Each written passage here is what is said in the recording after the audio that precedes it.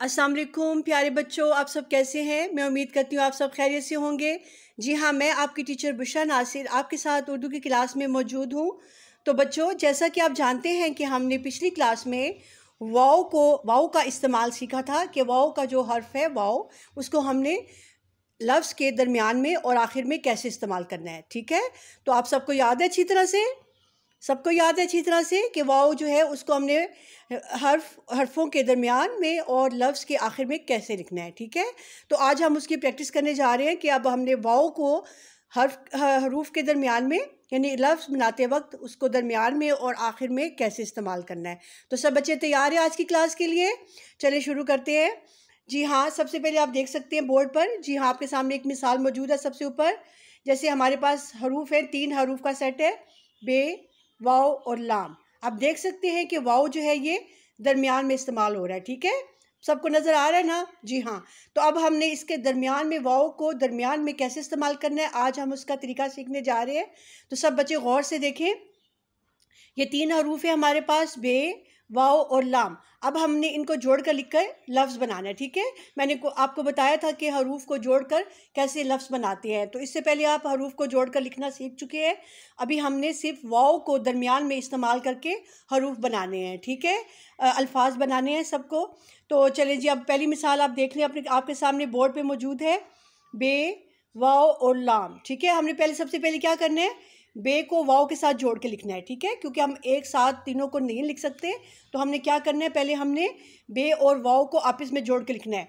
तो जब हम जोड़ के लिखते हैं तो आपको असूल पता है कि हम हर्फ की आधी शक्ल इस्तेमाल करते हैं। कभी भी जब हम लिखेंगे कोई भी लफ्ज़ तो कुछ हरूफ के अलावा ज़्यादातर जो हरूफ है, उनको हमने उनकी आदि शकाल के साथ जो है वो लिखना होता है, ठीक है? तो बे को जो है हम आदि शक्ल के साथ लिख रहे हैं। ये देखिए, आप देख सकते हैं। बे की आदि शक्ल और इसके साथ वाओ को जोड़ के लिखा हुआ है। ये ठीक है? बे और वाओ। अच्छा बे की साउंड क्या है? आवाज़ क्या है? ब। ठीक है? और वाओ की ओ। ठीक है?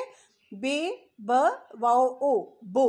बे, वाओ, बो। क्या होगा? बे, वाओ, बो। और आगे कौन सा हर्फ तीसरा हर्फ कौन सा है हमारे पास? लाम। शाबाश। तीसरा हर्फ हमारे पास लाम है। तो हम जब इनको जोड़ के लिखेंगे तो बे, वाओ, बो और लाम, कौन सा लफ्ज़ बन जाएगा? बोल, शाबाश। बिल्कुल सही। बोल जो है, इसको किसको कहते हैं? बोल, बोलना क्या होता है? बोल क्या होता है? बोल होता है कोई बात, बोलना, यानी किसी बात को बोलना, ठीक है? बोल। हम कहते हैं बोलो या बोलो या बात करो, ठीक है? तो बोल उसको कहते हैं। तो देखें जी, बे और वाओ को जब हमने जोड़ के लिखा तो ये देखिए वो उसकी शक्ल कैसे बन गई। बे, वाओ, बो। और आगे हमने लाम को साकिन लिखना है। मैंने आपको पहले भी बताया था कि जब कोई हर्फ के आगे कोई और हर्फ ना हो, खाली एक हर्फ मौजूद हो तो उसको हम साकिन बोलते हैं, ठीक है? वो आगे जाके साकिन कहलाता है, ठीक है? तो अब हमारे पास कौन से दो, तीन हरूफ थे जिनको हमने बनाकर एक लफ्ज़ बनाया?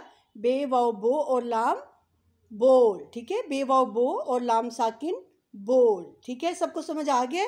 अब इसी तरह हमारे पास और बहुत से हरूफ हैं, नीचे आप देख सकते हैं। जिनकी हमने प्रैक्टिस करनी है और उससे हमने इसी तरह वाओ को दरमियान में इस्तेमाल करते हुए हरूफ अल्फाज बनाने हैं, ठीक है? आप सब तैयार हैं? चलें ठीक है जी, हम अपनी क्लास शुरू करते हैं। लिखाई का काम शुरू करते हैं, सब बच्चे तैयार हों? जी हाँ लिखना शुरू करते हैं। अब आप देख सकते हैं हमारे पास कौन से हरूफ हैं? पे, वाओ और लाम, ठीक है? जैसे पहले आपने मिसाल में देखा, बे, वाओ, लाम को हमने कैसे लिखा? इसी तरह अब हमने ते, वाओ और लाम को जोड़कर कैसे लिखना है?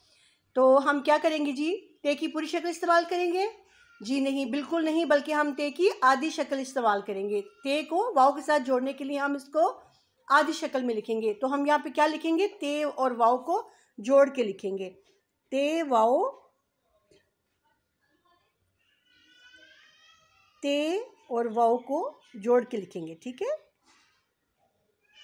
ते और वाओ, ठीक है? आगे कौन सा हर्फ है तीसरा? लाम। तो हमने यहाँ पे क्या लिखना है? लाम। ठीक है? तो ये कौन सा हर्फ बन जाएगा? ते और वाओ की आवाज़ है तो। तो लाम की आवाज़ क्या है? ल। ते, वाओ और लाम तो जैसे बे, वाओ, बो बो और लाम बोल था, इसी तरह ते, वाओ तो। और इसके साथ लाम लिखेंगे तो क्या बन जाएगा? तोल। शाबाश। बिल्कुल सही।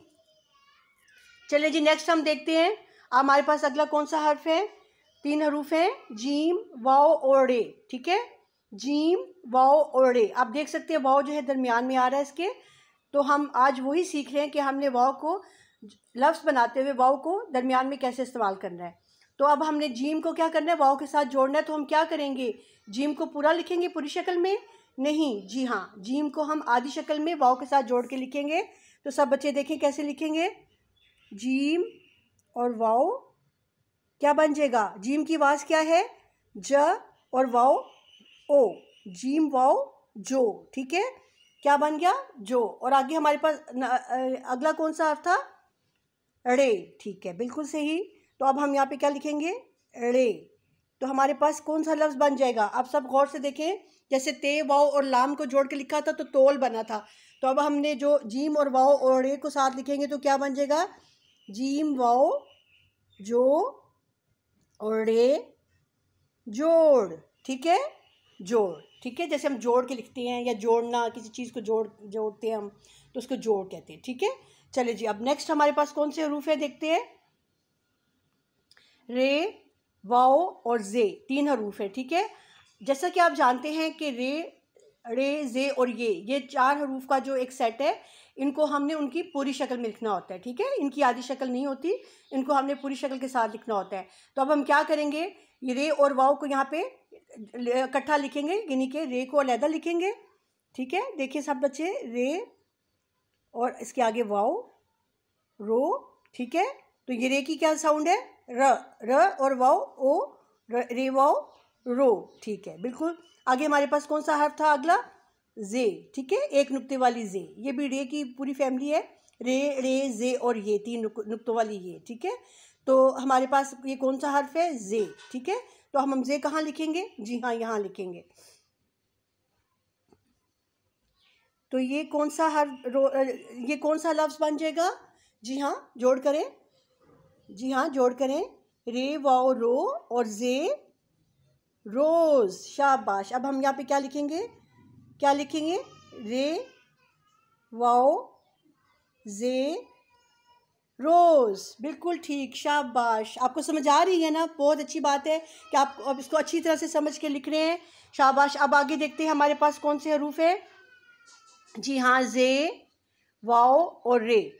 आप देख सकते हैं कि ऊपर हमारे पास पहले रे था, फिर वाओ था दरमियान में और फिर जे था। यहाँ आप देख सकते हैं कि जे पहले है वाओ फिर उसी तरह दरमियान में है, क्योंकि अब हम वाओ को दरमियान में लिखना सीख रहे हैं, इसको दरमियान में पढ़ना सीख रहे हैं तो वाओ जो है वो दरमियान में है और रे आखिर में आ रहा है, ठीक है? वहाँ रे ऊपर आ रहा था, पहले आ रहा था और जे आखिर में तो यहाँ पे जे पहले आ रहा है और रे जो है वो आखिर में आ रहा है तो फिर जे और वाओ को हम लिखेंगे यहाँ पर, ठीक है? चले लिखते हैं, जे और वाओ जो, और आगे कौन सा हाफ़ हम लिखेंगे? जी हाँ रे। यहाँ पे हम क्या लिखेंगे? रे। ठीक है? तो अब आप इसको जोड़ करें इसका। सब बच्चे जोड़ से पढ़े इसको।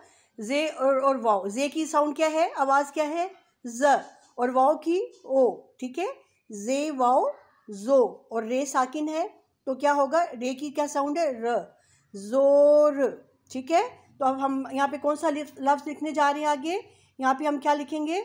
ऊपर तो रोज़ था ना? अब यहाँ पे क्या आएगा? ज़ोर। ज़ोर होता है किसी चीज़ को ताकत के साथ इस्तेमाल करना, ठीक है? ज़ोर लगाना। हम कहते हैं ना, ज़ोर लगाओ, ज़रा ताकत इस्तेमाल करो। तो हम यहाँ पे क्या लिखेंगे? ज़ोर। जे, वाओ, रे, ज़ोर। ठीक है? सबको समझ आ रहा है? शाबाश। बहुत अच्छी बात है कि आप समझ के लिए सबको अच्छी तरह समझ रहे हैं इसको। तो बच्चों, जितना आप इसको गौर से पढ़ेंगे, गौर से लिखेंगे, आपको उतनी जल्दी इन हरूफ की समझ आएगी, ठीक है? चलिए, अब अगला हमारे पास कौन सा लफ्ज़ है? कौन सा हर्फ है हमारे पास अगला? जी हाँ। शीन, वाओ और कौफ। अब जैसा कि आप जानते हैं, कौफ के ऊपर दो नुकते होते हैं और इसको हम मोटा पढ़ते हैं, ठीक है? जैसे काफ और काफ है। काफ जो है, उसको हम नरमी नरमी से पढ़ते हैं, जबकि कौफ जो है, इसको हम मोटा करके पढ़ते हैं। तो चलिए, अब हमने क्या करना है? शीन और वाओ को जोड़ के लिखना है यहाँ पे। तो क्या शीन पूरा आएगा? पूरा, पूरी शक्ल में आएगा? जी हाँ ये आधी शक्ल में आएगा। बिल्कुल सही आपने कहा, शीन को वाव के साथ जब जोड़ के लिखेंगे तो इसकी इसकी आधी शक्ल के साथ लिखेंगे, ठीक है? चलिए जी, हम देखते हैं। शीन और वाव, ठीक है? शीन को वाव के साथ जोड़ा तो कैसे होगा? शीन की आवाज़ क्या है? श और वाओ की ओ। शीन वाओ शो, ठीक है? अब अगला कौन सा हर्फ हमने लिखना है यहाँ पे? काफ, ठीक है? यहाँ कहाँ लिखेंगे? यहाँ पे कॉफ लिख को लिखेंगे, ठीक है? चलें, देखें। कॉफ ठीक है? शीन वाओ शो और कॉफ क्या बन गया? शौक हम कहते हैं ना, आपको किसी बात का शौक़ है, किस गेम का शौक़ है, आपको किन चीज़ों का शौक़ है यानी आपको किसी, कौन सी चीज़ें पसंद है, ठीक है? तो हम शौक़ का लफ्ज़ यूज़ करते हैं। तो यहाँ पे हम क्या लिखेंगे? शीन वाओ और कौफ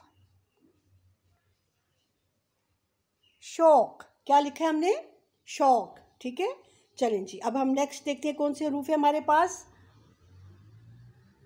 शीन, वाओ और रे। ठीक है? शीन को वाओ के साथ जोड़ के उसी तरह लिखेंगे। शीन की आवाज़ क्या है जी? श। शीन, वाओ। शो। और आगे कौन सा हर्फ है? रे। ठीक है? रे हम यहाँ लिखेंगे। रे। ठीक है? तो ये क्या बन जाएगा? शीन, वाओ और रे, शोर। ठीक है? जैसे शीन, वाओ, शो और काफ शौक था। यहाँ पे रे है, आप देख सकते हैं यहाँ पे रे है, शीन, वाओ, शो और रे साकिन है। तो क्या बन गया? शीन, वाओ, शो और रे, शोर। ठीक है? हम शोर कहते हैं शोर मत मचाएँ। ठीक है? शोर कहते हैं, जैसे आप बहुत शोर कर रहे होते हो, सब बच्चे मिलके बातें कर रहे होते हो तो वो शोर होता है। तो हम कहते हैं, शोर ना करें, ठीक है? ये वो हर जो है, ये वो लफ्ज़ है, शोर, ठीक है? चलिए जी, हम आगे चलते हैं। कौन सा वर्ड है हमारे पास? गाइन वाओ और रे, ठीक है? गाइन की आदि शक्ल आपको पता है ना कैसे गाइन की आदि शक्ल जो है वो यहाँ तक है, ठीक है? तो अब हमने इसको आदि शक्ल में यहाँ वाओ के साथ जोड़ के लिखना है। गाइन गाइन और वाओ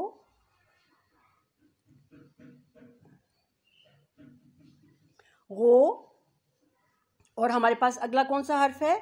रे है। तो हम यहाँ पे क्या लिखेंगे? रे। ठीक है? तो ये गैन की क्या, आवाज़ क्या है? साउंड क्या है? गैन की गो गो और वाओ गो गो गो रे साकिन गोर क्या लिखेंगे हम यहाँ पर? रे और वाओ गो और रे साकिन गोर ठीक है? सबको समझ आए शाबाश। चलें जी, अब हम आगे चलते हैं। अगला कौन सा हर्फ है हमारे पास?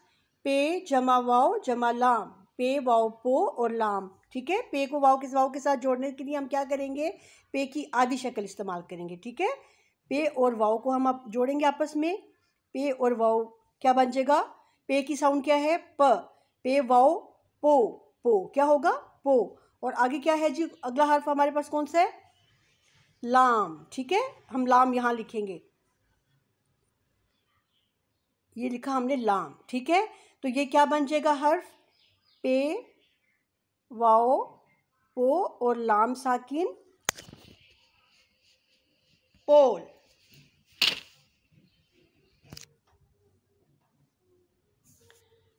तो ये अब हमारे पास कौन सा लफ्ज़ आ गया है? पे, वाओ, पो और लाम साकिन, पोल, ठीक है? चलिए अब हम इनकी दोबारा प्रैक्टिस करते हैं। एक दफ़ा इनको दोबारा देख लेते हैं जो हमने आज के हरूफ लिखे हैं और हमने तीन हरूफ से जो है वो लफ्ज़ बनाना सीखा है और वाओ को जो है हमने दरमियान में इस्तेमाल करना सीखा है कि वाओ को हमने अल्फाज के दरमियान कैसे लिखना है, ठीक है? तो जैसे हमने बे, वाओ, बो, लाम, साकिन, बे, वाओ, बो और लाम, साकिन, बोल, ते, वाओ तो लाम, साकिन, तोल, जीम, वाओ, रे, साकिन, जोड़ रे वाओ रे वाओ, जे साकिन, रोज़।